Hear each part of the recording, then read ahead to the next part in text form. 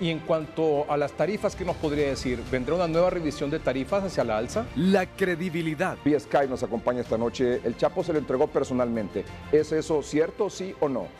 No. Las noticias más importantes del día con Edgardo Melgar. Lunes a viernes de 6.30 a 8 de la noche. Esto es lo último en noticias. Buenas noches, saludamos en La Ceiba, Naún Monje, en Ciguatepeque a Omar Valenzuela. Naún, buenas noches.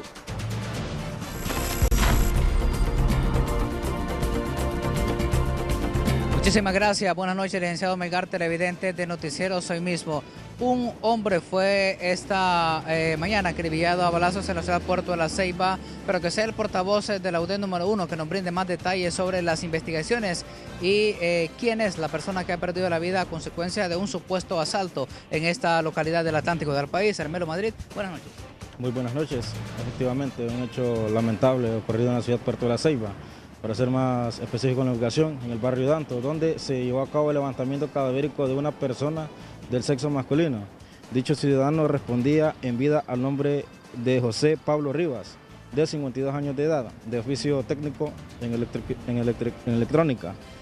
Pues eh, perdió la vida a consecuencia de varios disparos producidos por un arma de fuego, según eh, determinó en medicina forense al momento de realizar el levantamiento correspondiente conforme a ley. Posteriormente el cuerpo fue trasladado hacia la morgue judicial para realizar la respectiva autopsia. ¿Ya están las investigaciones necesarias sobre cuál es el móvil? es correcto, este según supuestamente los vecinos en el lugar pues no escucharon verdad eh, detonaciones de un arma de fuego, pero según eh, se, puede manejar que esto fue consecuencia por puede ser por enemistades personales o tal vez por robo. Ya las autoridades competentes encargadas a la investigación del caso están llevando a cabo las investigaciones para darle captura y poder identificar a la persona quien eh, quitó la vida a dicho ciudadano. Muchísimas gracias, Hermelo Madrid, portavoz de la UD número uno aquí en la ciudad Puerto de la Ceiba sobre este hecho violento eh, por un supuesto asalto. Y es que estas acciones se han incrementado por ello que los entes policiales han intensificado las acciones en distintos puntos de la novia de Honduras. Desde la ciudad Puerto de la Ceiba voy con mi compañero eh, Javier Castillo en el Progreso Lloro que tiene más información. Muchas gracias. Así es, dos mujeres fueron encontradas decapitadas y semidesnudas, sin vida, aquí precisamente en la ciudad de El Progreso. Estamos con uno de los vecinos del lugar, quienes precisamente encontraron a la joven. ¿Cuál es el nombre suyo? Oscar. Cuéntenos. Oscar Romero. ¿En qué condiciones encontraron a las muchachas? Ah, pues no estaban desnudas, sin cabeza, sin manos y macheteadas las piernas y y una estaba sin, o sea, le cortaron la rodilla, sí, el pie. Pero las cabezas no, no, no se ven, no, no, no, se sabe pues a dónde sería que las botaron, a ver. ¿Las edades aproximadamente de ellas? Una es como 19 años, la otra como 25 años. Es grave lo que está pasando aquí con la criminalidad. Sí, porque aquí nunca se había dado eso. Mira, o sea, aquí ha sido tranquilo. Nosotros caminamos aquí día y noche, aquí, sin miedo, sin nada. Y ahora sí ya está apareciendo todo eso aquí, sí, ya vamos a tener más cuidado. Obviamente, obviamente irreconocible, no sabes dónde lugar. Eh, no, no, no, no se conocen. ya fue, pues, quizás fue que las trajeron para, para aquí, para este lugar y ya aquí las mataron. Bien, gracias. Esto es lo que ocurre entonces eh, sobre estas dos eh, mujeres que aparecieron sin vida aquí en la ciudad de El Progreso en el departamento de Lloro, precisamente en la colonia 9 de, en la colonia Rubí número 9, eh, atrás del Parque Industrial El Porvenir, carretera que el progreso conduce hacia el puerto de Tela. Regreso a estudios. Muy bien, muchas gracias Javier Castillo por la información. Vamos ahora a Cihuatepeque con Omar Valenzuela, nuestro corresponsal en la zona centro del país. Omar, buenas noches.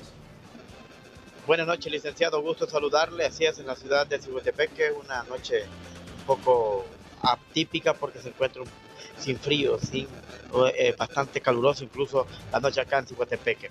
Y es que acá este día se han entregado 30 licencias sanitarias en la Cámara de Comercio e Industria de Cihuatepeque, fortaleciendo la microempresa en nuestro país. Buenas noches. Eh, aquí en la Cámara de Comercio e Industria de Cihuatepeque hemos tenido la presencia de la Agencia de Regulación Sanitaria, para entregar 30 licencias sanitarias y algunos permisos eh, sanitarios para todos aquellos emprendedores que se dedican a la elaboración de alimentos y venta de, también de productos alimenticios. Por estos 30 eh, entregas de este día es importante, pero también más importante que estarán mañana. ¿Y cuáles serán esos requisitos para que se puedan abocar aquí a la Cámara de Comercio? Mañana viernes estarán de, de 8 de la mañana a 12 del mediodía y los requisitos pues deben de presentar la escritura de negocio o permiso de operación de negocio, RTN, también deben de llenar algunos formularios aquí en la Cámara de Comercio con la Agencia de Regulación Sanitaria, como es la solicitud y una declaración de los productos que elabora. ¿Y cierro con esto? ¿El cupo es limitado? Eh, no es limitado, es al público en general. Eh, pueden aprovechar mañana viernes aquí en la Cámara de Comercio de Ciguatepeque. Bueno, muchas gracias María Neri Ramos, quien es la gerente administrativa de la Cámara de Comercio e Industria de Cihuatepec, haciendo esta invitación para fortalecer las microempresas y a los comerciantes en nuestro país y sobre todo a los de la zona central para que se aboquen a la Cámara de Comercio y accedan a todos los beneficios que esta misma ofrece. Vuelvo con usted, licenciado, a los estudios principales de su noticiero Soy Miembro. Muy bien, muchas gracias Omar. En Cihuatepeque, en Javier, Javier Palma está en Choluteca, como, como todas las noches. Javier, buenas noches. Buenas noches, licenciado Edgardo Melgar. Estamos aquí en vivo y quiero contarles que ya este sábado inicia la feria y en el marco de Ferisur Expo Agash. Para eso estoy con el ingeniero Mario Hernán Argeñal, quien es el presidente de la Agash y él nos dará a conocer pues sobre la actividad con la que van a arrancar este sábado. Buenas noches, ingeniero. Buenas noches, eh, Javier, buenas noches al licenciado Melgar y buenas noches a Honduras. Efectivamente, la Agash 2019 ha sido diseñada para que sea un éxito, para que sea de verdaderamente de diversión y para distraer la familia. Tenemos seis grandes eh, corridas internacionales de toros. Tenemos eh, juzgamientos de ganado, raza, carne, de carne y de leche. La competencia de las vacas lecheras. Tenemos los juzgamientos de caballos de las razas iberoamericanos y de las razas, eh, pura raza española. Y este sábado arrancamos con el, nuestro gran desfile hípico, donde estamos pronosticando hasta 500 ejemplares con sus respectivos caballistas recorriendo la, toda la, la, ciudad de Choluteca. ¿De dónde vienen estos caballistas? Estos caballistas vienen de todos los municipios y parte de los departamentos de Honduras definitivamente. Tenemos el sábado la primera gran torrida internacional de toro. Tenemos el lanzamiento de la Espagas. Tenemos la apertura de la primera función de todo lo que son los juegos mecánicos y lo que es un circo familiar como es el Circo América. Bien, muchas gracias, ingeniero Mario Hernán Argeñal. Bueno, ya lo saben, quedan cordialmente invitados para eh, poder eh, participar en esta feria aquí en Choluteca. Yo con esta información vuelvo con usted, licenciado Edgardo Melgar, hasta la capital. Buenas noches. La sección de salud es presentada por el nuevo Bronco Pulmin D con su máxima efectividad descongestionante. Nuevo Bronco Pulmin D, efectivo desde la primera cucharadita. Una quemadura es una lesión en los tejidos del cuerpo causada por sustancias químicas, electricidad, el sol o radiación, incendios y líquidos calientes. Existen tres tipos de quemaduras. La quemadura de primer grado, que es la quemadura propia del, cuando la gente va a la playa o se asolea demasiado, que arde mucho, que después se, descama, se, se pela la piel. Esa es quemadura de primer grado, que es muy dolorosa. La de segundo grado está en segundo grado superficial y profundo, cuando ya se levantan ampollas y se hacen vesículas como agüitas. Ese es el segundo grado. Y la tercer grado cuando afecta todas las capas de la piel. Así que va de lo superficial a lo profundo, primero, segundo y tercer grado. El tratamiento para estas quemaduras depende del tipo. La quemadura de primer grado se atiende con manejo de dolor. La de segundo grado, hospitalización. Y tercer grado, injertos de piel. Cuando todas las capas de la piel han quedado pues quemadas o carbonizadas en la cual ya no hay ninguna circulación y el tejido está muerto, hay que quitarlo y sacar injertos de piel de las partes que estén buenas. Hay niños que vienen con quemaduras tan extensas que no podemos tomar eh, piel porque está quemada totalmente, entonces usamos algún tipo de, aditamento para protegerlo mientras ah, se va regenerando solo la piel. Los médicos recomiendan no aplicar ningún tipo de crema o producto en las quemaduras, esto para evitar una infección y complicación de la misma.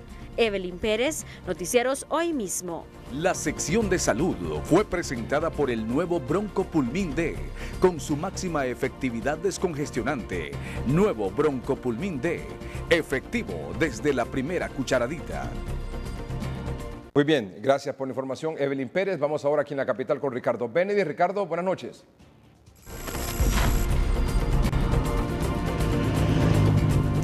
Buenas noches, Edgardo, televidentes de hoy mismo. El Ministerio Público ha echado a andar esta, este día la operación Escudo Regional. ¿Pero en qué consiste y cuáles son los resultados?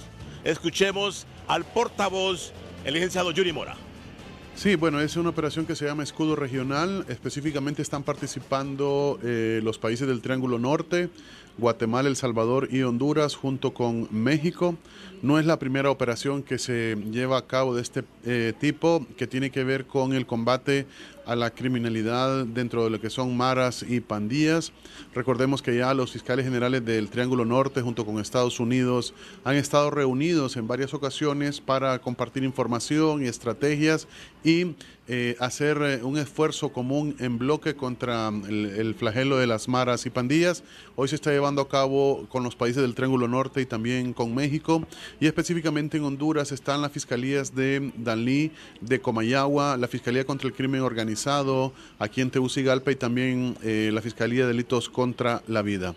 Se están haciendo un sinnúmero de allanamientos se están haciendo un sinnúmero de capturas. No tenemos ahorita cuantificado cuántas capturas van, pero ellos, eh, las personas capturadas que específicamente se están centrando en lo que son eh, jefes de maras y pandillas, serán presentados ante un juez competente una vez que sean detenidos por las autoridades. Edgardo, en algunos minutos, producto de esta operación, van a presentar eh, cuatro miembros de una Mara que han sido capturadas precisamente por esta operación Escudo Regional. Con usted. Gracias, Ricardo Benedict. Joven hondureño con síndrome de Down rompe paradigmas.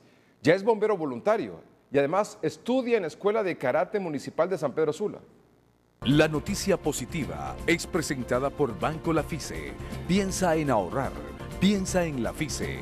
Apertura o incrementa el saldo de tus cuentas y participa en sorteos. Banco La FICE, el líder financiero regional. Los sueños no tienen límite para Cristian Alejandro Leiva, un joven con síndrome de Down, que con el apoyo de su madre busca romper los paradigmas impuestos muchas veces por la sociedad. Agradecemos a la Escuela Infantil de Bomberos con el teniente coronel, creo que es eh, Alfonso Medina. Ahí la escuela está bajo el mando el sargento Colindres, que nos abrió las puertas también después. Él es la parte educativa, técnica. Y ahí hemos estado con él. Gracias a Dios le han dado todo el apoyo y él ha seguido adelante. Su apariencia es la de un niño de 14 años, pero en realidad tiene 22 y su vocación es servir. Es por eso que junto a su madre tocó puertas y se abrieron en la escuelita del cuerpo de bomberos, donde lo tratan con igualdad. Se le da siempre como su, su cuidado, ¿verdad? Pero no de igual forma, pues se, le enseña normalmente como cualquier otro joven o niño y él pues asimila y hace pues las maniobras pues con todos los muchachos y niños pues de que, están en la escuelita. No conforme con ser bombero voluntario, también decidió ingresar a la Escuela de Karate Municipal, donde ya ganó dos medallas y un diploma, pero hay más sueños que cumplir. A mí me gusta el karate, el fútbol, agua pelota, soy delantero, eh, bombero.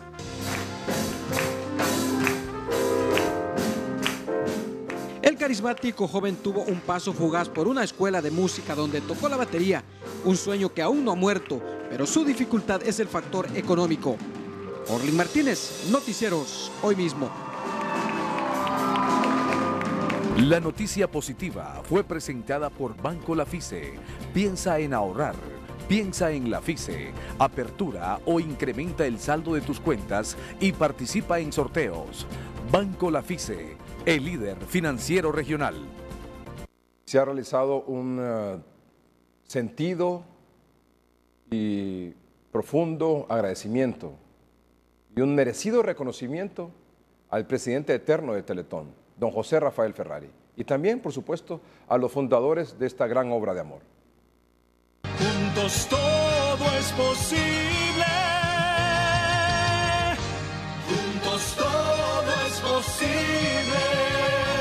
Fundación Teletón reconoció el legado dejado por miembros fundadores de esta gran obra de amor que de la mano del eterno presidente de Teletón, el señor José Rafael Ferrari, hicieron realidad un sueño que hoy es un legado para el pueblo hondureño. Nos hemos reunido para honrar a quien honor merece. Inicialmente queremos referirnos a nuestro presidente eterno, don José Rafael Ferrari. En 1986 comenzó a soñar con la posibilidad de construir un centro de rehabilitación en Tegucigalpa para tratar a personas que sufrían de alguna discapacidad. Por eso en 1987 se organizó el primer evento Teletón.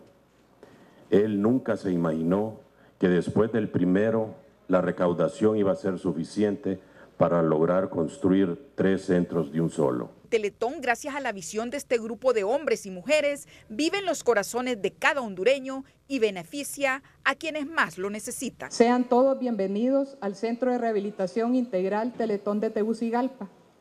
Este centro fue fundado en 1990 y recibe anualmente 6.500 pacientes, brindando más de 150.000 atenciones terapéuticas. Lo que empezó como un sueño de abrir un solo centro de rehabilitación se han convertido en seis centros y un acumulado de casi 9 millones de atenciones. Los logros y la confianza generados a través de 32 años de vida institucional no hubiera sido posible sin el liderazgo del licenciado José Rafael Ferrari y de estos extraordinarios hondureños que pusieron todo su empeño para dar inicio a esta gran obra de amor. La figura de José Rafael Ferrari Sagastume, su liderazgo y credibilidad fueron fundamentales para que Teletón sea hoy una realidad.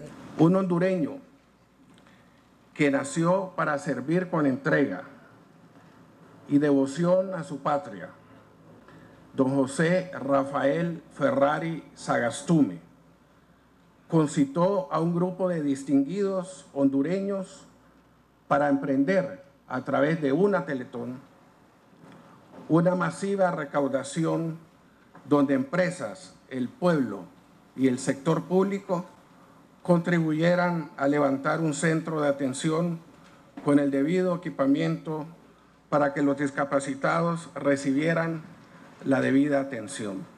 En este homenaje se reconoció la labor de los hombres y mujeres que confiaron en José Rafael Ferrari y llevaron a cabo el sueño de ayudar a personas que necesitan de apoyo. Aquí se agradeció a quienes continúan en esta gran obra de amor y a aquellos que se han adelantado en el camino trazado por el Todopoderoso. Este reconocimiento, creo que el legado que nos han dejado tanto el señor don José Rafael como mi papá es un legado para las futuras generaciones, eso es un regalo de amor principalmente del señor Ferrari y creo que mi labor es continuar, ¿no? Continuar apoyando a la Teletón, apoyando estas causas, a la gente que más necesita ayuda. Siempre Teletón tenía una parte importantísima en su, en su agenda, un hombre muy ocupado, pero siempre le dedicó tiempo a Teletón. La Teletón, una obra arraigada de amor aquí en el país. Así es, una cosa muy arraigada. Eh, y, está en el, en el corazón de todos los hondureños. Yo creo que debe ser una de las fundaciones que más tiene respeto en este país. y las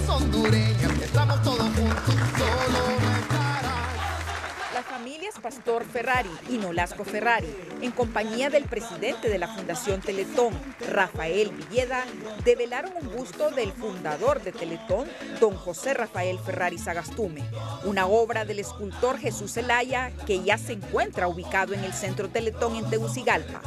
Cada uno de los seis centros Teletón a nivel nacional contará con una imagen similar para recordar al hombre del enorme corazón que nunca se olvidó que Teletón somos todos.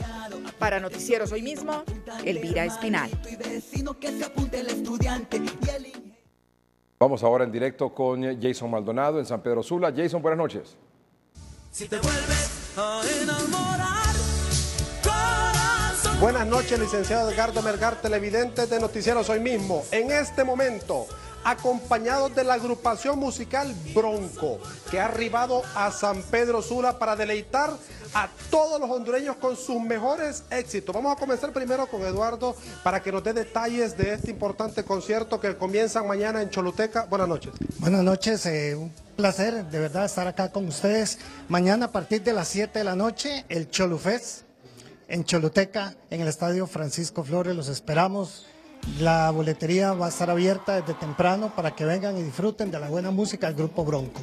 Lo que han estado esperando todos los hondureños, licenciado Edgardo Melgar, televidentes de Noticieros hoy mismo, José Guadalupe Esparza, Lupe Esparza, como le dice, con grandes éxitos en toda la historia, más de 40 años deleitando a todos los hondureños que comentábamos que de niños, incluso nosotros, escuchamos estas canciones muy famosas. Bueno, nos da mucho gusto estar aquí en este país hermoso. Gente hermosa, así para que disfruten toda nuestra historia musical. Este, tenemos esa cita este par de días, este viernes, este, este sábado. Y nos la vamos a pasar fenomenal, de verdad. Reciban un abrazo muy grande, un saludo, bendiciones de parte de sus amigos de Bronco. Y estamos felices de estar aquí en estas tierras. ¿Cuáles son algunos de esos éxitos con los que ustedes van a deleitar a todos los hondureños? Yo creo que con todo lo que la gente quiera, que no quede güey, amigo Bronco, si te vuelves a enamorar de dos mujeres. No, nunca ca- terminaría. Creo que tenemos, somos un grupo favorecido con una historia musical muy vasta que podríamos estar cinco horas tocando canciones y, y todas las gente, todas las canciones la gente va- las va a conocer. Nos están pidiendo a nivel de, de- de producción y asimismo de todos los hondureños que nos cante un poquito de esa canción emblemática que por ejemplo Si te vuelves a enamorar, corazón, no quiero verte llorar. El concierto es mañana y pasado. Y la de Naila, la que. compadre, voy a cantar Naila dura cinco horas esa canción. Dos mujeres, un camino, así un poquito. Dos mujeres, un camino, es el destino que ahora tiene para mí la vida. Y sí, así por molestarlo, vaya, pues la otra, vaya. Va, pues, y yo que me la llevé, vamos a cantar juntos. Yo que me la llevé al río. Naila, di por qué me abandona. Si bien sabes que te quiero, vamos a llorar aquí. No, capaz, no digamos con oro, si nos ponemos con oro, también un poquito de oro. No, no, no, este, recuerden que de Choluteca el día de mañana y obviamente el sábado estaremos aquí en San Pedro Sula y les vamos a cantar Oro, si te vuelves a enamorar, este, Sergio el Bailador, Adoro, Bronco, Libros Tontos, eh, tantas canciones que ustedes han hecho éxito. Sí, preséntenos así para que todos los hondureños puedan conocer quiénes son los nuevos integrantes de este Que sí, bueno, no tan nuevos, eh, tenemos casi ocho años- años ya juntos en este camino y aquí les presento. Sí, queridos amigos, yo soy Javier Cantú, baterista de Bronco. Saludos y para todos.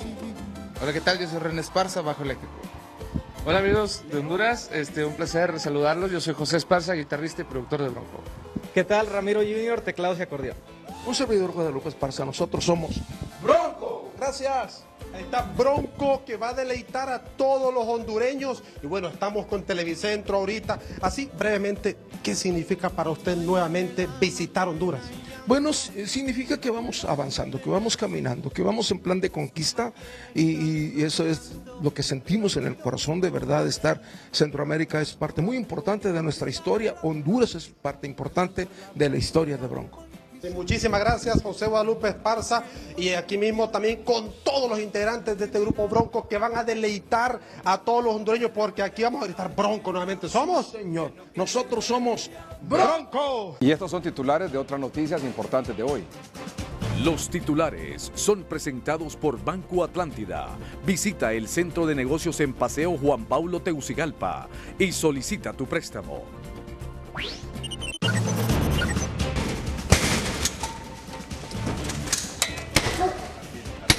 Capturan a cuatro socios de los Valle Valle y les incautan lujosas viviendas, joyas, dinero en efectivo y hasta un millón de pesos colombianos en efectivo durante allanamientos en Cortés y Atlántida. Movimiento de Ricardo Álvarez, Salvemos a Honduras, no asistirá a la convención del Partido Nacional en Danlí. Presidente de Corte Suprema de Justicia coloca primera piedra del edificio judicial de Santa Rosa de Copán. Congreso Nacional extiende por dos años más vigencia de la ley de apoyo a la micro y pequeña empresa. Escrutinio final da como nuevo presidente de Uruguay a Luis Lacalle y pone fin a 15 años de gobierno de la izquierda. Los titulares fueron presentados por Banco Atlántida. Visita el centro de negocios en Paseo Juan Pablo Teucigalpa y solicita tu préstamo. Este es su noticiero hoy mismo con Edgardo Melgar. Durante la operación Relevo 2, ejecutada hoy por el Ministerio Público en la zona norte del país, fue capturado uno de los socios del clan Valle Valle, que supuestamente habría lavado más de unos 80 millones de lempiras. Se capturó también a otras tres personas vinculadas al mismo delito. Vamos con los detalles de la información con José Luis Herrera. La noticia del día es presentada por Óptica Popular. En Óptica Popular, la Navidad se celebra por 1.390 lempiras en aros y lentes monofocales con antirreflejo CR39.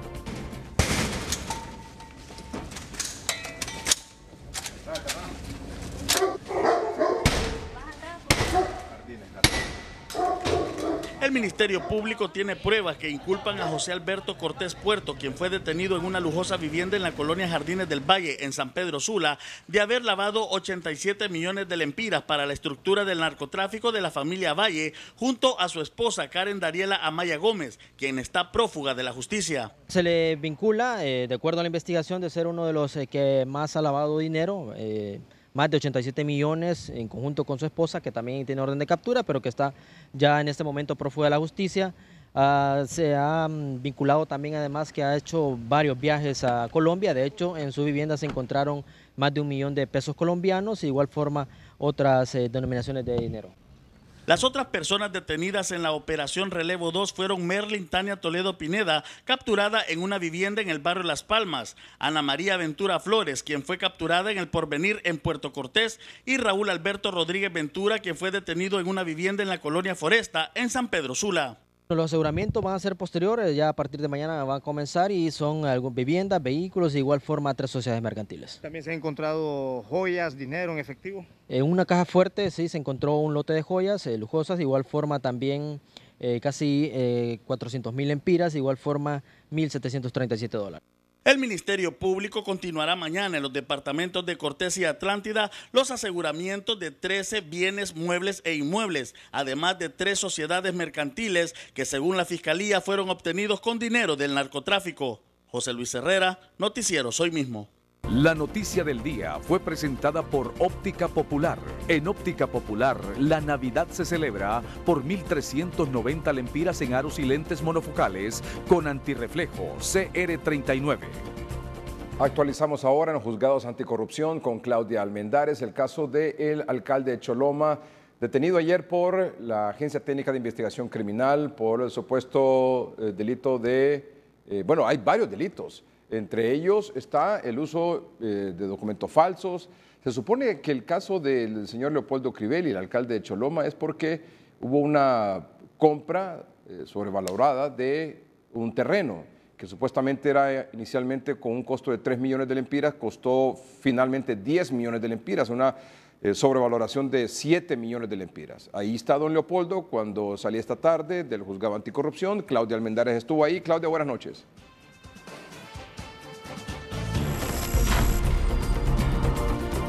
Edgardo, es un gusto saludarle a esta hora de la noche desde las afueras de los juzgados en materia de corrupción, en donde, como usted bien lo indica, ha salido hace algunos instantes el alcalde de Choloma, Leopoldo Crivelli, luego de haber sido sometido a una audiencia de declaración de imputado, en donde lo han suspendido de su cargo por lo menos por unos días. Escuchemos a continuación a la portavoz de la Corte Suprema de Justicia, Lucía Vilars suspensión en el ejercicio de su cargo, este solamente hasta que se desarrolle la audiencia inicial y determinar si existe eh, suficientes pruebas para que el proceso continúe. De continuar el proceso, el juez que conoce la causa estaría determinando si la medida se le sigue manteniendo o no. Asimismo, la firma ante el juzgado de Choloma todos los lunes, prohibición de salir del país, también queda bajo la custodia de su abogado defensor y la prohibición también de concurrir a ciertos lugares y de comunicarse con ciertas personas. Son las medidas que se le han impuesto por parte del juez eh, que ha conocido la causa en este juzgado en materia de corrupción. También quedaron convocadas las partes para este próximo martes 3 de diciembre a las 9 de la mañana en donde se estará desarrollando esta audiencia inicial en donde podría existir un auto de formal procesamiento o un sobreseimiento definitivo o provisional. Edgardo, previo a someterse a esta audiencia de declaración de imputado, el alcalde de Choloma, Leopoldo Crivelli, fue llevado a un centro asistencial debido a que productos, según los familiares, de la problemática que enfrenta en este momento y padeciendo de diabetes, entonces se le subió la presión y además eh, el azúcar. Sin embargo, él pudo dialogar con nosotros unos instantes antes de salir en libertad. Escuchemos a continuación. Todo es justo, depende del lado que lo vea, pero ahorita en realidad que me siento un poco tanto, tanto hostigamiento que creo que no, pues, no tengo... Molesto por el voto popular, pero lo suspende la juez, don el señor Crivelli. No, no ¿Cómo me lo asimila? no, no ¿Y me suspende el cargo? No, no. Sí, Solo por- Después fue a una conferencia, pero ahorita me siento mal porque estoy El desvelado. Partido Liberal le, le- le ha agotado. brindado su apoyo. Sí, claro, no, no. Se los agradezco. Persecución política. Pues, no, ¿qué, ¿qué puedo decir? Lo único que fue que, que me agarraron y Échelo la mano, que está enfermo. Y, y- y- Enfermo. y respondo. Échelo la mano, échelo la mano, a que salga. Eh, Compréndame, ¿verdad? ¿Cómo toma esa suspensión del cargo? ¿Cómo toma la suspensión del cargo? No, no, no me han, no, no, no me han suspendido el cargo. Lo suspendieron hasta la audiencia inicial. Sí, mejor esperemos la audiencia inicial. Varias veces lo han, querido acu- lo han acusado y no han probado su, su culpabilidad. Por eso, pero así, así es, eh, que todo tiene, tiene, tiene su principio y tiene su fin. Las cosas se, se aclaran como tiene que ser. Pero después, después voy a una conferencia de prensa, pero ahorita no tengo la, el ánimo de, de dar declaraciones porque me siento bien mal. ¿Cuál es el mensaje que le manda Ando, a su pueblo ando la, la presión alta y, y ¿Cuál es el me- mensaje que envía usted a su pueblo? No, que, que aquí estoy, que siempre trabajaré para ellos y estoy... Y ojalá que siempre me sigan apoyando. Edgardo, los delitos por los que el Ministerio Público ha acusado al alcalde de Choloma son fraude, abuso de autoridad y uso de documentos públicos falsos. Esta ha sido la acusación que ha vertido el Ministerio Público en contra del alcalde de Choloma y le comento que la próxima audiencia, o sea, la audiencia inicial será el próximo 3 de diciembre a partir de las 9 de la mañana, siempre aquí en juzgados en materia de corrupción. La acusación, como bien usted lo decía, Edgardo, es por la sobrevaloración de cerca de 7.5 millones de lempiras en la compra de un terreno que sirve como municipal. Con esta información regreso con usted. Muy bien, gracias Claudia Almendares. Cuatro heridos deja un aparatoso accidente entre dos vehículos hoy a la altura del kilómetro 21 en la carretera que conduce de Tegucigalpa a San Pedro Sula. Flavio Pavón tiene los detalles.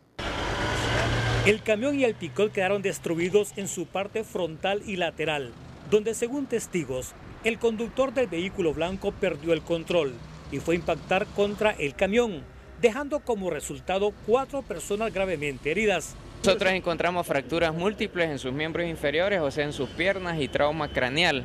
Aparte el, el- el- el síndrome compartimental que tuvieron ellos, dado que estuvieron atrapados alrededor de 25 a 30 minutos. Los cuerpos de socorro llevaron a los heridos al Hospital Escuela y al Seguro Social. Ellos eh, se encuentran en un estado reservado de salud. La última persona, Luis Aguilar, eh, de 32 años, es la persona que se encuentra en un estado crítico. En ese momento pues, se le están realizando procedimientos pues, a la espera de que todos ellos tengan o, o su resultado sea de manera favorable. Según las autoridades de la Dirección de Viabilidad y Transporte, en los últimos dos días han ocurrido varios accidentes de tránsito en la carretera CA5. Siempre se dan ese aumento de los accidentes, específicamente por las condiciones climatológicas.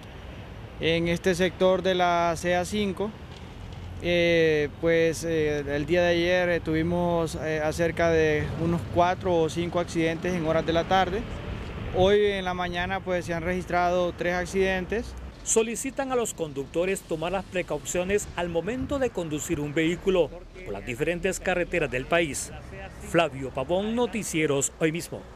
El movimiento Salvemos Honduras, que lidera el designado presidencial Ricardo Álvarez, anunció hoy que no asistirá a la convención del Partido Nacional que está previsto que se realice mañana viernes y sábado en las instalaciones del Instituto Departamental de Oriente en Danlí, El Paraíso.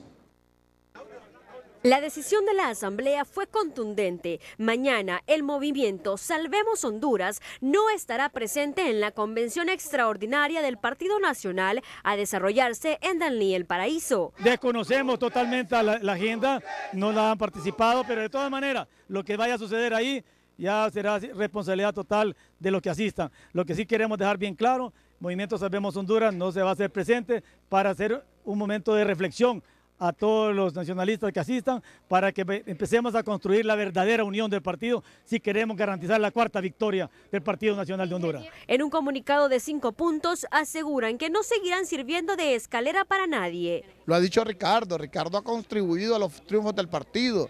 Desde el 2011 él ha hecho todos los sacrificios necesarios. Entonces yo creo que llegó el momento de que eh, entendamos de que la gente se cansó de ser escalera. El presidente del Comité Central del Partido Nacional, Reinaldo Sánchez, manifestó que respetarán la decisión de cada miembro del partido. Si no la respeto, estaría cometiendo el error más grande que cualquier presidente de un instituto político tan grande como el Partido Nacional cometería, que es no respetar la democracia en torno de las decisiones que tomen a lo interno cada partido político. Sí, la mayoría de Salvemos Honduras dice que no se van a hacer presentes. ¿Cómo lo toma el presidente del Partido Nacional de Honduras? como una forma de expresarse, como una forma de decir de que ellos tienen su pensamiento y sobre todo su forma de manifestarse, siempre y cuando salvaguarden lo más grande, que es la unidad granítica del Partido Nacional. a un solo movimiento? De ninguna manera, Calona. Y en esto quiero ser claro. Como han dicho que vamos a ratificar a Juan Orlando para que aspire una vez más, como han querido decir de que vamos a ir a ungir a Tito Fura como candidato, como han querido decir también que Mauricio Oliva puede salir proclamado o que Ricardo Álvarez puede también salir proclamado, no. La convención del partido es un evento sagrado de los nacionalistas y creo que ya la víspera de lo que será esa fiesta se ha quedado plasmada en cada una de las preconvenciones. Al igual que el movimiento Salvemos Honduras de Ricardo Álvarez, el movimiento Todos por el Cambio del expresidente Porfirio Lobo Sosa han asegurado que no asistirán a la convención extraordinaria del Partido Nacional el próximo 29 y 30 de noviembre en Danlí, el Paraíso. Evelyn Pérez, Noticieros Hoy mismo. La sección económica es presentada por Diunsa. ¿Por qué solo un día? En Diunsa te damos toda una semana. Los precios más bajos de Honduras. Garantizado. Black Week Diunsa.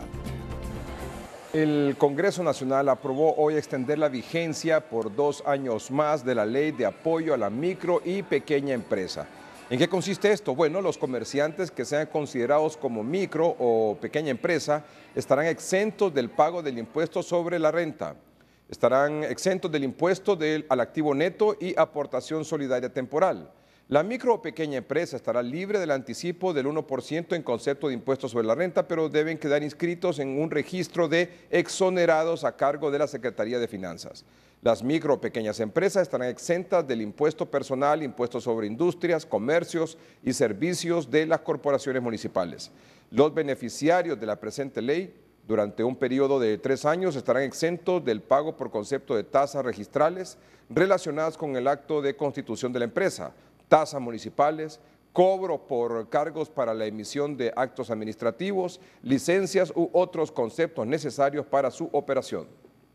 No, realmente la recibimos con mucho con mucho, muy contentos porque realmente va a venir a apoyar aún más a emprendedores que no pudieron formalizarse en su momento y esta ampliación va a venir a que todo em, emprendedor que se quiera formalizar va a tener la oportunidad y poder emprender eh, un producto para, para, que, para que pueda vivir bien. ¿A cuántos microempresarios va a beneficiar esta ley?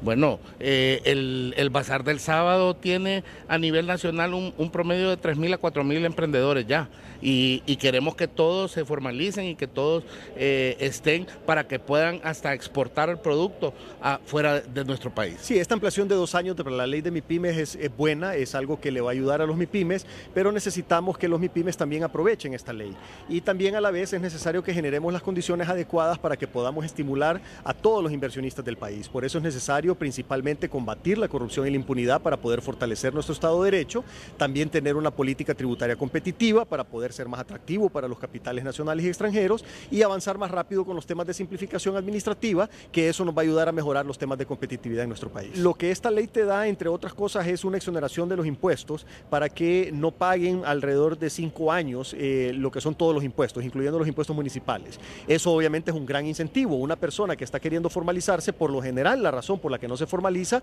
es por el temor a pagar impuestos. Pero con esta ley lo que tienes es varios años para tener una exoneración fiscal y en ese periodo de tiempo entonces los microempresarios pueden aprovechar para hacer crecer su negocio y que cuando ya termine la exoneración ya tengan cierto tamaño y cierta fortaleza y poder hacerle frente al pago de sus obligaciones tributarias.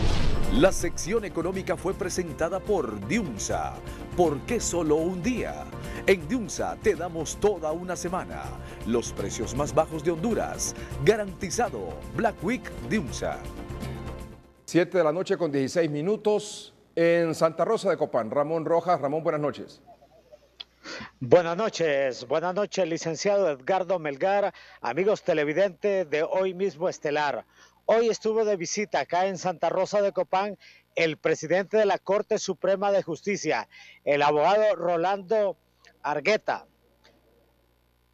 Estuvo en la colocación de la primera piedra del edificio que albergará la Corte Suprema de Justicia en, en, la ciudad de Santa Rosa de Copán, específicamente en la colonia Las Delicias, a un costo de más de 100 millones de lempiras.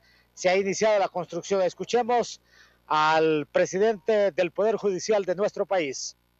Y estamos también eh, próximos a echar a andar el proceso de licitación para el nuevo edificio en Gracias, en el departamento de Lempira, con un costo de varias decenas de millones eh, muy importante, y así como la reparación de edificios que ya estaban también y que estaban deteriorados en La Labor, en Censenti, en San Marcos o Cotepeque, en el propio Cotepeque y en otras ciudades del occidente del país. Estamos construyendo también un edificio de 14 millones de lempiras en Quimistán en julio del 2020 nos lo entregan y así hemos desarrollado obra física y continuamos con esos procesos.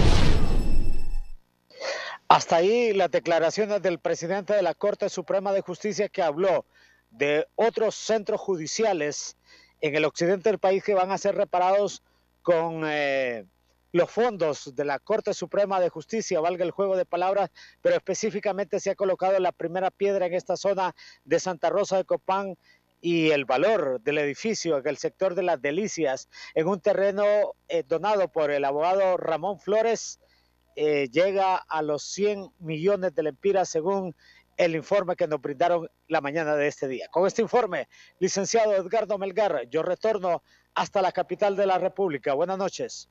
Muy bien, muchas gracias Ramón Rojas en directo desde Santa Rosa de Copán. Vamos a un corte comercial en el noticiero. Antes un avance del pronóstico del tiempo con Gabriela Castillo. Hola, ¿qué tal? Muy buenas noches, Edgardo. Los expertos advierten de los efectos de una cuña de alta presión, pero de carácter débil, que estará dejando precipitaciones en el territorio nacional. Al volver de la pausa le tendremos todos los detalles. El precio de los combustibles es presentado por Toyota. Tu seguridad es primero. El precio de los combustibles en San Pedro Sula, gasolina super 24.94 lempiras, gasolina regular 22.37 lempiras, diésel 20.83 lempiras, queroseno 16.04 lempiras, gas vehicular 35.83 lempiras, gas LPG 257.69 lempiras. El precio de los combustibles fue presentado por Toyota. Tu seguridad es primero.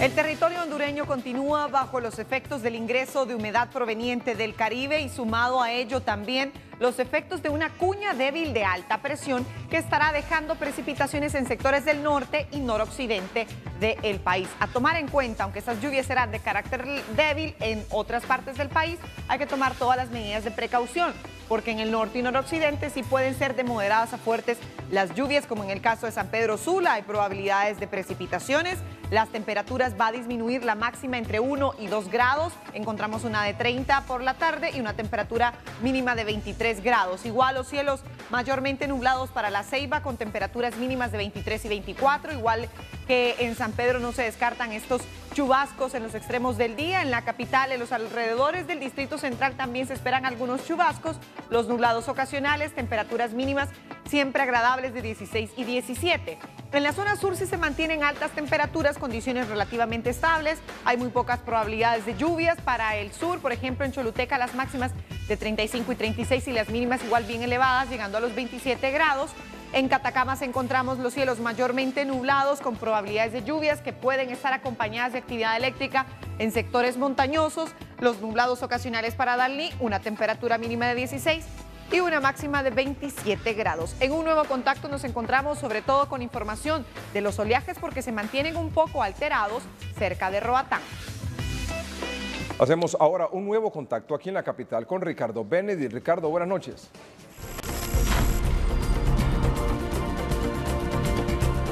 Buenas noches, Edgardo, televidentes de hoy mismo. La Fuerza Nacional Antimaras y Pandillas acaba de presentar hace algunos minutos a cuatro miembros de la estructura criminal de la Mara 18. Ellos fueron capturados producto de, en el marco de la operación Escuto Regional que anunció precisamente el Ministerio Público. Tres de ellos fueron capturados en la colonia Miraflores y uno en la colonia Betania de Comayagüela. Dentro de estos cuatro hay un menor. A ellos se les ha decomisado dineros producto de la extorsión. En total, de acuerdo a la información que maneja la Fuerza Nacional Antimaras Impandías, producto de esta operación Escudo Regional, se han capturado 20 personas, 20 miembros de una estructura de estructuras criminales a nivel nacional. Pero mi compañero Jason Maldonado tiene más información en el norte del país. Buenas noches, Jason.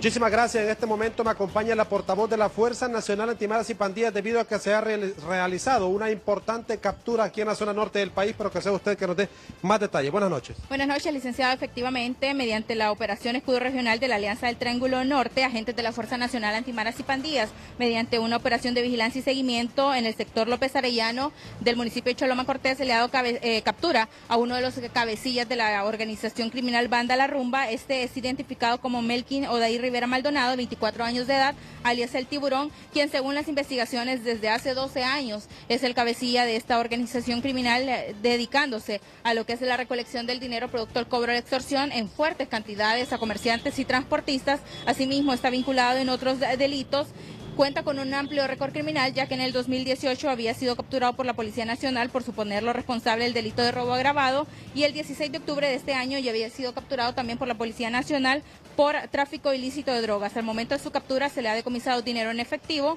un teléfono celular, un arma de fuego que él mismo utilizaría para realizar acciones delictivas, asimismo tres bolsitas transparentes conteniendo supuesta cocaína. Cabe mencionar que esta persona era la encargada de girarle instrucciones a cinco miembros de la banda La Rumba que fueron capturados el día de ayer también.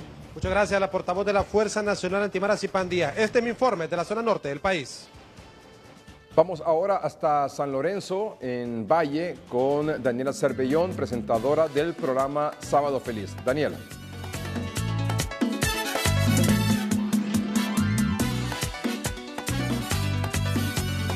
Muchísimas gracias Edgardo Melgar. Eh, muy buenas noches a todos los televidentes de hoy mismo y hoy me encuentro en el Parque Central de San Lorenzo con muy buena compañía y es que hemos sido muy bien atendidos gracias a la vicealcaldesa Josefina Aguilar. Josefina, eh, San Lorenzo es un municipio que tiene mucho que ofrecer. Así es, Daniela, muy buenas noches. Eh, San Lorenzo, como dice usted, es un municipio que tiene mucho que ofrecer y una vez más, este año el señor alcalde se ha esmerado y le está haciendo una bienvenida a la Navidad.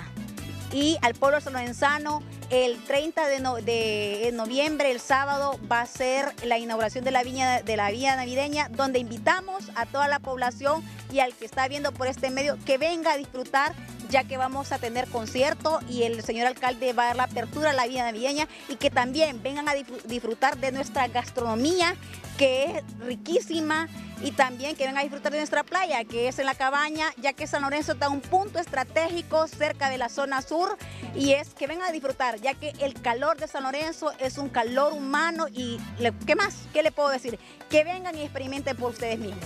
Así es, eh, soy testigo de que aquí el calor humano, la tierra de mariscos y bueno, también tenemos eh, la inauguración de la vía navideña, tenemos aquí al vicepresidente del comité. Cuéntenos el objetivo de este año. Buenas noches Daniela, buenas noches al licenciado Melgar en cabina y a toda la población de Honduras. El objetivo es llevar ese mensaje de las fiestas navideñas, de esa alegría, esa paz que queremos transmitir a todos los sanlorenzanos en este caso, a todo el departamento de Valle, por no decirlo a toda la zona sur y a todo nuestro país. De igual manera, a todas las personas que nos quieran visitar de diferentes partes del mundo, sean bienvenidos a esta actividad muy bonita que el señor alcalde y él junto con el comité de la Villa Navideña ha preparado este año para que ustedes vengan a disfrutar a un grupo de médicos y enfermeras que laboran en este sanatorio. Autoridades hospitalarias del Mario Catarino Rivas advierten de los daños irreversibles que quedan en las personas que han sufrido quemaduras por la manipulación de pólvora y exhortan a los hondureños a que no compren estos artefactos explosivos en esta temporada navideña. Un cortocircuito ocasionó que un taxi ruletero del municipio de Choloma se prendiera en llamas hoy, obligando al conductor y a sus ocupantes a salir del automotor que rápidamente fue consumido por el fuego. El incendio ocurrió en la carretera Aticamaya, en ese municipio. José Luis Herrera, Noticieros hoy mismo. Vamos a un corte comercial en el noticiero. En noticias internacionales, esta noche destacamos, la Corte Electoral da la victoria por la mínima a la calle Pou en las presidenciales de Uruguay.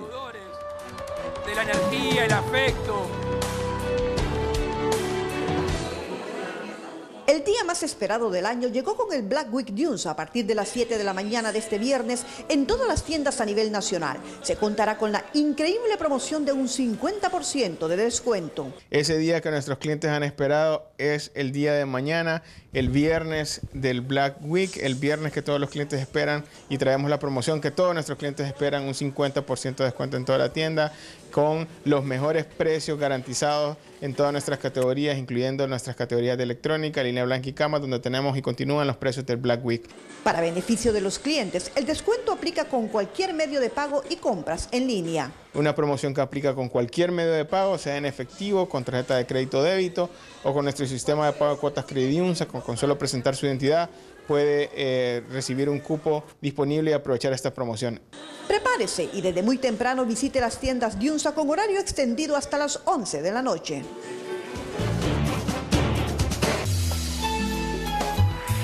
En cuanto a los oleajes, se encuentran en costa dentro de rangos normales, porque ya les mencionaba, en las últimas horas están bastante alterados cerca o en los alrededores de islas de la bahía, sobre todo en Roatán, a tomar en cuenta, llegará a una altura de 6 pies en estos sectores del Mar Caribe, en el Golfo de Fonseca, ligeramente alterado, llegando hasta 5 pies de altura, en ese rango de 3 a 5 pies para el Golfo de Fonseca. Retomando las temperaturas, condiciones de lluvias en algunos eh, sectores del país. En la zona insular como en Roatán no es la excepción. Se esperan los cielos nublados con máximas de 29 y 30 grados. En la zona central, tal vez en puntos montañosos de Comayagua se registren algunos chubascos. Los cielos poco nublados con máximas llegando a los 30 grados durante la tarde. En el occidente sí encontramos las temperaturas más agradables en los extremos del día. Para el caso de Copán de 18 y 19 que se han mantenido en los últimos días, las máximas de 27 y 28 grados. esperan algunos chubascos en sectores del occidente, noroccidente a tomar en cuenta, igual que la mosquitia hondureña con temperaturas mínimas elevadas de 26 y 27 grados. ¿Qué ocurre en La Esperanza? Por ejemplo, en La Esperanza las temperaturas mínimas que se conservan frescas en ese rango de 13 y 14 grados. Repetimos, la sensación térmica para estos sectores del suroccidente puede ser hasta de 10 grados para la próxima jornada. En Amapala los nublados ocasionales con temperatura máxima de 35 por la tarde y una mínima de 24 grados. Reiteramos, una cuña débil de alta presión estará dejando estos chubascos que pueden ser de moderados a fuertes en algunos sectores del norte y noroccidente del país para la próxima jornada. Con esto no se descartan las lluvias de carácter muy débil en otros sectores del país. Hoy se inauguró un moderno edificio donde va a operar, a funcionar la unidad de la policía en Puerto Lempira. La obra fue ejecutada con una inversión que asciende a los 77 millones de lempiras en Puerto Lempira, en Gracias a Dios. Hoy inicia un, termina un antes, ¿verdad?, de, todos los problemas que teníamos eh, en la Mosquitia e inicia una, nueva etapa, una etapa de modernidad, una etapa de más atención al departamento y especialmente en el tema de seguridad, una etapa donde vamos a enviar a, todos los servicios policiales para atender a nuestra gente aquí en La Mosquitia? Pues para mí este es un beneficio que recibimos, ¿verdad? Eh, un edificio moderno, de así pues este beneficio estamos muy agradecidos y queremos darle agradecimiento públicamente a nuestro presidente y al señor ministro Pacheco, que él eh, decía en su discurso que este proyecto que ha terminado es el, el fondo propio de nuestro país eso es muy importante. Entonces estamos aquí acompañándolo y recibiendo el edificio. Mitigar todas estas situaciones de adversidad e inseguridad en Puerto Lempira. Exactamente, porque eh, ahorita eh, el señor ministro Pacheco dijo que eh, todos los, todas las unidades necesarias que tienen otro departamento, pues en diciembre está llegando acá para que nos pueda ayudar. Eso es algo que estamos muy agradecidos, ¿verdad? Con Dios y con el señor presidente, juntamente el señor ministro Pacheco. Mediante orden de los juzgados de Comayagua, la Policía Nacional desalojó este día a 12 familias e igual cantidad de viviendas por invasión en propiedad privada ubicada en la colonia Montefresco de esta ciudad. Hoy se han eh, desalojado 12 eh, viviendas, dentro de las 12 viviendas en su mayoría estaban ya deshabitadas, solo habían tres viviendas que estaban deshabitadas, al cual se les notificó anteriormente eh, hace unos 20, 25 días para que fueran sacando sus cosas, en su mayoría pues ya estaban sin, eh, sin, pertenencias dentro de las viviendas. Para Noticieros, hoy mismo desde Canal 22 en Comayagua, en cámaras, Marvin Correa les informó Nelly Martínez. Un total de 60 jóvenes de tres municipios de este departamento de Santa Bárbara y que recibieron talleres de barismo y soldadura por parte de los talleres de Codemusba este día recibieron su propio certificado gracias a la cooperación española y a los gobiernos municipales. Es una experiencia inolvidable, sobre todo para los 60 chicos y chicas que acaban de egresar, para el trabajo que viene haciendo también la CONIANFO en el marco del Programa Nacional de Escuelas Taller y bueno, en nuestro caso también como agencia española del apoyo que se viene brindando hace ya más de una década concretamente al Programa Nacional y a la puesta en marcha y consolidación de otras escuelas taller. Con el apoyo de TV Más Canal 26 Cristian Molina en cámaras, Alexis Gutiérrez, Noticieros, hoy mismo. Con el propósito de empoderar a mujeres y jóvenes con emprendimientos sostenibles, PIA y CENET en consorcio con Ayuda en Acción, FUNACH, MIMAT, GOAL y la municipalidad unen esfuerzos para capacitar a 14 líderes que multiplicarán los conocimientos a 280 personas de los municipios de Llorito y Victoria. Se están formando eh, en el desarrollo de emprendedurismo sostenible y hoy aquí en Victoria son 14 líderes y lideresas, ¿verdad?, que van a multiplicar conocimientos en el tema del desarrollo de emprendedurismo para una réplica de 280. Con las cámaras de Naún Rodríguez, Néstor Castillo, Noticieros hoy mismo. En las últimas horas, el expresidente Zelaya llegó a Tocoa para participar en el Cabildo Abierto que tratará el tema de concesiones mineras. Dos posiciones. Unos que quieren explotar los los recursos naturales eh, de una forma irracional y otros que luchamos porque la explotación, el aprovechamiento, especialmente de los recursos que no son renovables, sea de acuerdo a alineamientos que preserven el ambiente, que preserven los intereses de la municipalidad, los intereses del pueblo el cabildo está previsto para mañana y se espera la participación de altos representantes de ONGs y organismos internacionales. Isabel Antunes, Noticieros, hoy mismo. El Consejo Económico y Social solicitó a diputados del Congreso Nacional aprobar reformas a la Ley de Seguridad Social. En la actualidad, una comisión técnica integrada por obreros, empresa privada y gobierno da los últimos análisis a un proyecto de ley que será enviado al Congreso Nacional. Ya los equipos técnicos se han reunido a la saciedad, ya hay un documento, por decirlo así, con alto porcentaje de consenso y aún estamos eh, pendientes de poder sesionar en el pleno del CES para poder tomar la decisión colegiada del anteproyecto de ley que iría al Congreso Nacional. Desde 2014, una junta interventora administra el Seguro Social, donde según dirigentes obreros ya debe de caducar para una nueva gobernanza en la institución social. Consejo de Seguridad Social como órgano superior, que está conformado por todos los actores, el directorio de especialistas que va a administrar y va a programar todos los objetivos, todos los, servicios que presta la institución y una nueva estructura de auditoría y controlación interna. Ahí se está planteando que las auditorías ahora están obligadas a ser anuales, tener informes de auditoría anuales. Me parece que son los temas de fondo, básicamente, que se están discutiendo y que se van a aprobar, ojalá a más tardar en el, mes de diciembre para que empiece a funcionar, como dijimos antes, a partir del mes de enero de 2020.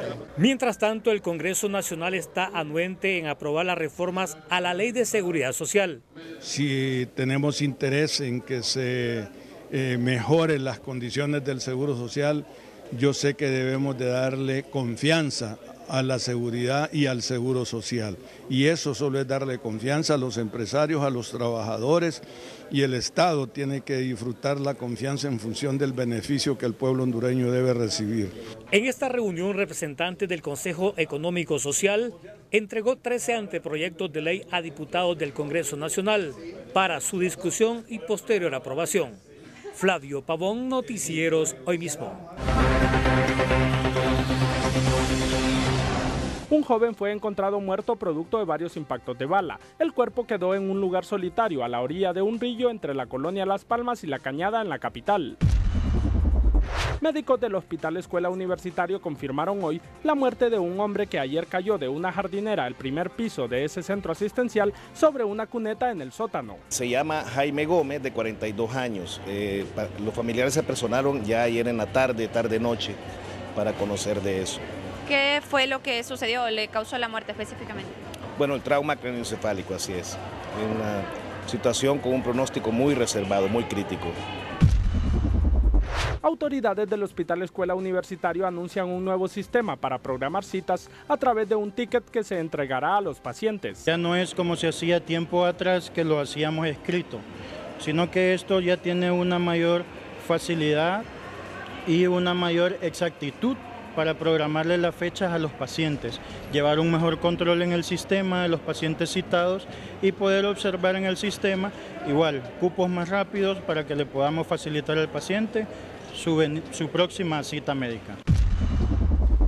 A partir de la próxima semana retornarán a Honduras centenares de extranjeros que esperaban en México para ser asilados en los Estados Unidos y que bajo un convenio ahora serán enviados a Honduras. Se vuelve ilegal porque una persona que está pidiendo asilo político pierde automáticamente todos los derechos que puede darle tanto el, convenio México Seguro y también los Estados Unidos en el cruce de frontera.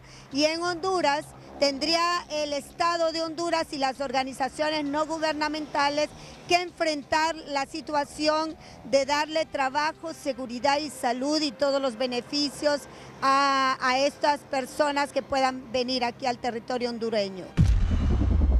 Después de varias horas de protesta, empleados de Honducor que exigen incremento salarial retornaron a su actividad laboral al llegar a un acuerdo con las autoridades de finanzas. Bueno, para este año eh, estamos hablando de 1.100, igual que tuvieron empleos públicos, la única diferencia es que eh, no va a ser de febrero, va de septiembre. Pero sí, para el otro año, aprovechar este medio, que para el otro año está el aumento ya en el presupuesto del correo, que ya Finanza ya lo puso. Denis Salgado, Noticiero Hoy Mismo.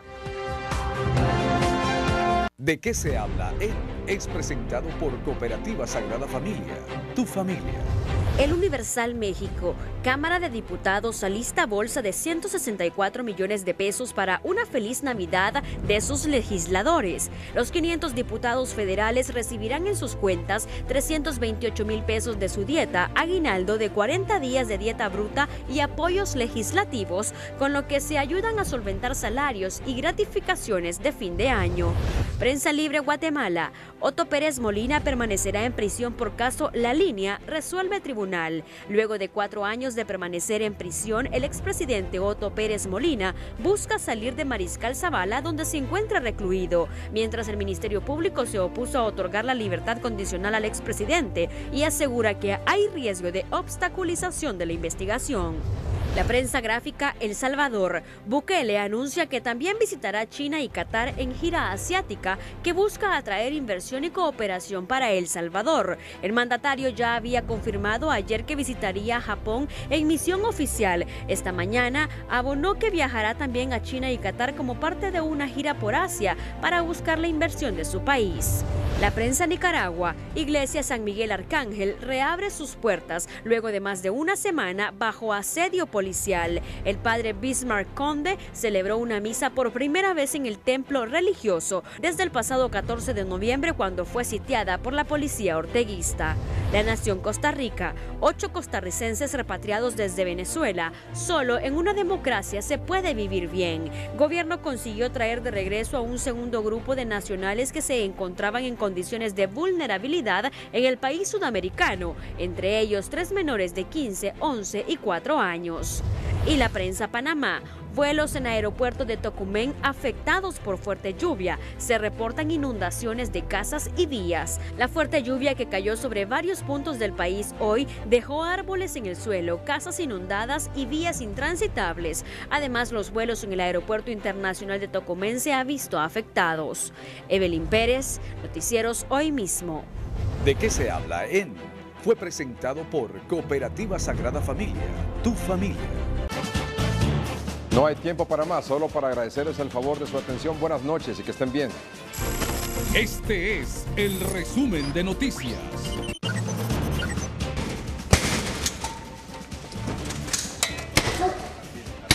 Capturan a cuatro socios de los Valle Valle y les incautan lujosas viviendas, joyas, dinero en efectivo y hasta un millón de pesos colombianos en efectivo durante allanamientos en Cortés y Atlántida. Movimiento de Ricardo Álvarez, Salvemos a Honduras, no asistirá a la convención del Partido Nacional en Danlí. Presidente de Corte Suprema de Justicia coloca primera piedra del edificio judicial de Santa Rosa de Copán. Congreso Nacional extiende por dos años más vigencia de la ley de apoyo a la micro y pequeña empresa. Escrutinio final da como nuevo presidente de Uruguay a Luis Lacalle y pone fin a 15 años de gobierno de la izquierda. Y de última hora, Fuerza Nacional Antimaras y Pandillas captura a individuo conocido en el bajo mundo con el alias El Tiburón, supuesto cabecilla de la banda La Rumba en Choloma Cortés. Fuerza Nacional Antimaras y Pandillas captura en Tegucigalpa a cuatro supuestos miembros de la pandilla 18 por diversos delitos incluyendo extorsión en el marco de la Operación Escudo Regional. Este fue el resumen de noticias.